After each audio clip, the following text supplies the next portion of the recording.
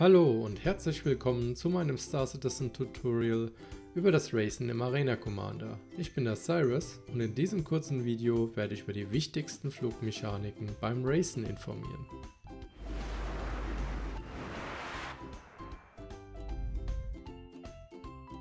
Da es vom Flugstil eines jeden Piloten abhängig ist, mit welchen Geschwindigkeiten man unterwegs ist und wann man den Boost einsetzen sollte, kann ich euch hier nur einige allgemeingültige Tipps geben. Grundsätzlich sollte man mit einer Geschwindigkeit starten, bei der man sein Schiff kontrollieren kann. Meine Erfahrung hat mir schon sehr oft gezeigt, dass ich bessere Zeiten geflogen bin, wenn ich langsamer unterwegs war. Erst wenn es wirklich gut läuft, sollte man den Boost etwas mehr einsetzen und damit auch höhere Geschwindigkeiten anvisieren. Prinzipiell nutze ich den Boost immer dann, wenn ich bremse. Nur wenn ich zu früh mit dem Bremsen begonnen habe, gleiche ich das so aus, dass ich kurz vor den Checkpoints den Boost loslasse und mich dann mit langsameren Geschwindigkeitsverlust hereingleiten lasse. Dazu booste ich bei der Beschleunigung sehr früh aus den Checkpoints heraus, um den Drift in der Kurve zu minimieren und auf Geschwindigkeit zu kommen.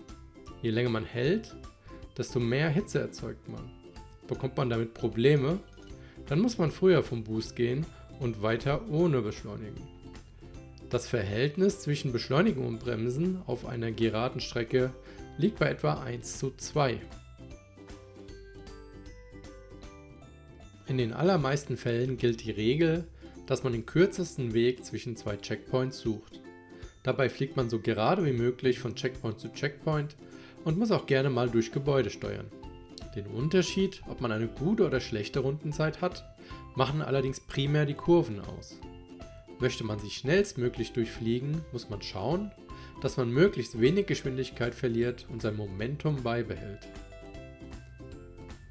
Dafür fliegt man die Checkpoints nicht mittig, sondern in Bezug zum übernächsten Checkpoint von außen an, dreht aber schon vorher auf den nächsten Checkpoint ein und versucht die Kurve bestmöglich abzurunden. So bleibt das Momentum größtmöglich erhalten und man spart Hitze und Zeit.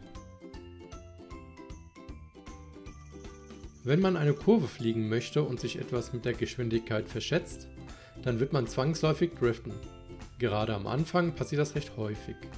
Später wird man Drifts irgendwann bewusst einsetzen, wenn keine direkte Sichtverbindung zwischen zwei Checkpoints besteht und man mit hoher Geschwindigkeit langgezogene Kurven fliegen möchte.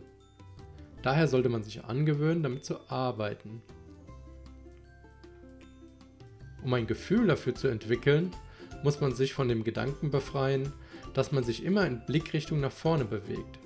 Nicht die Nase des Schiffs zeigt an, wohin man sich bewegt, sondern der TVI. Auf der Rennstrecke sieht es dann so aus, dass ich in Richtung des kürzesten freien Vektors zum nächsten Checkpoint beschleunige, den Schub zurücknehme mich kurz gleiten lasse, nach dem Hindernis dann meine Nase nicht auf den gewünschten Checkpoint, sondern ein ganzes Stück darüber hinaus drehe, wieder beschleunige und meine Nase langsam in Richtung Checkpoint zurückbewege, und zwar in Abhängigkeit davon, wie schnell sich der TVI darauf zubewegt. Ich muss also übersteuern, um meinen TVI möglichst schnell auf das Ziel zu bringen. Ein ganz ähnliches Manöver muss man auch fliegen, wenn man merkt, dass die Geschwindigkeit für die aktuelle Situation zu hoch ist. Ein einfaches Bremsen und Nase ausrichten wird erst recht dazu führen, dass man die Kurve nicht bekommt. Man muss erst einmal so weit herunterbremsen, wie es möglich ist, dann unter Umständen extrem mit der Nase übersteuern, um dann mit dem vollen Schub den TVI wieder in den Checkpoint zu drücken. Wenn man Blackouts bestmöglich vermeiden möchte, muss man grundsätzlich erst einmal verstehen, wie die G-Kräfte funktionieren.